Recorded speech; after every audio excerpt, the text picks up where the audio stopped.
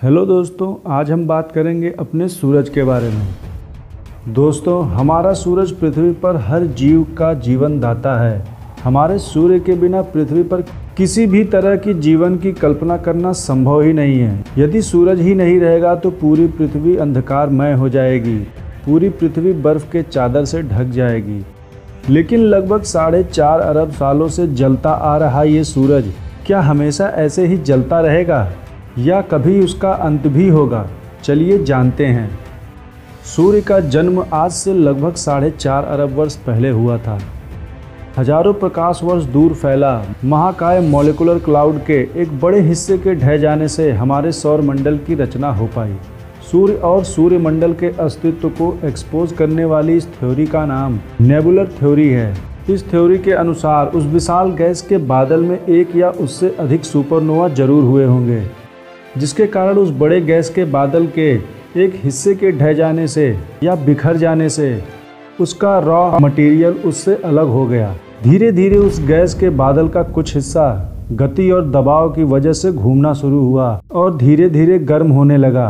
रफ्तार और घुमाव की वजह से उसका एक बड़ा हिस्सा केंद्र में घटित हुआ और बाकी का हिस्सा उसके चारों ओर घूमता रहा। इसी प्रक्रिया में करोड़ों साल लग गए और कई साल बीत जाने से धीरे धीरे तापमान ठंडा हुआ और हीलियम और हाइड्रोजन का बीच वाला भाग हमारे सूर्य के रूप में अस्तित्व में आया और उसके आसपास घूमने वाले रॉक मटेरियल से हमारे पृथ्वी जैसे रॉकी प्लेनेट बने और कई क्षुद्र पिंड भी बने और इस तरह से हमारे सौर मंडल का जन्म हुआ। सूर्य हमारे सौर मंडल का राजा है मतलब सबसे बड़ा पिंड है।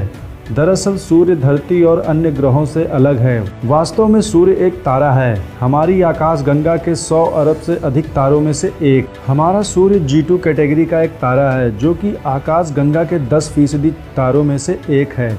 जैसे हमारी पृथ्वी और अन्य ग्रह सूर्य की परिक्रमा करते हैं, ठीक उसी प्रकार हमारा सूर्य अपने सारे ग्रहों के साथ आकाश गंगा की परिक्रमा करता है। हमारे सौर मंडल के सभी ग्रहों को हमारी आकाश गंगा की परिक्रमा करने में लगभग 25 करोड़ साल लग जाते हैं। सौर मंडल में सबसे अधिक भार, यानी कि द्रव्यमान, हमारे सूर्य का है, जिसका व्यास तेरह लाख बयानबे हज़ार किलोमीटर का है। सूर्य हमें देखने में भले ही इतना बड़ा ना लगता हो, लेकिन असल में सूरज पृथ्वी से लगभग दस लाख गुना बड़ा है। क्योंकि वह धरती से लगभग 14 करोड़ छियानवे लाख मतलब 15 करोड़ किलोमीटर दूर है। इतने दूर से सूर्य के प्रकाश को पृथ्वी पर पहुँचने में सिर्फ़ आठ दशमलव सोलह मिनट लग जाते हैं। सूरज मुख्य रूप से हाइड्रोजन और हीलियम से बना हुआ एक गोला है।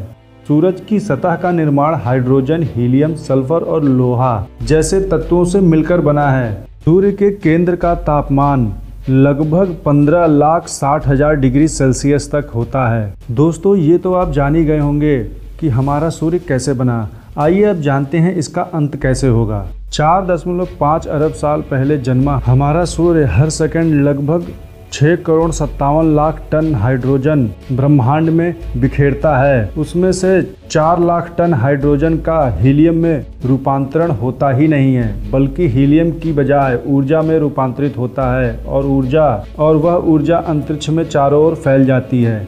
ऐसे ही सूर्य हर सेकंड अपना पदार्थ घुमा रहा है, लेकिन ऐसा कब तक चलेगा? तो इस प्रश्न का जवाब यह है कि यह प्रक्रिया लगभग पाँच अरब साल तक चलेगा। उसके बाद सूर्य के केंद्र का हाइड्रोजन समाप्त हो जाएगा, जिसके कारण सूर्य के केंद्र का तापमान अपनी हद पार कर देगा और वह धीरे धीरे बढ़ने लगेगा मतलब उसका आकार बढ़ने लगेगा और सूर्य अपने मूल अवस्था से सौ गुना ज़्यादा बड़ा हो जाएगा। जब कोई ऐसे विकसित होता है, तब उसको रेड जाइंट कहते हैं। हमारा सूर्य भी एक दिन ऐसे रेड जाइंट हो जाएगा। सूर्य के आकार के इतने बढ़ने के कारण उसका व्यास इतना बढ़ जाएगा कि बुद्ध और शुक्र ग्रह को तो वह पहले ही निगल चुका होगा और तब आएगी हमारी पृथ्वी की बारी। लेकिन तब तक पृथ्वी पर सूरज की गर्मी के कारण सभी जीव जंतुओं का नाश हो चुका होगा और करोड़ों साल बाद सूर्य में अब हाइड्रोजन के बजाय हीलियम ही बचा होगा। सूर्य में अब हाइड्रोजन के बजाय हीलियम ही रह जाएगा।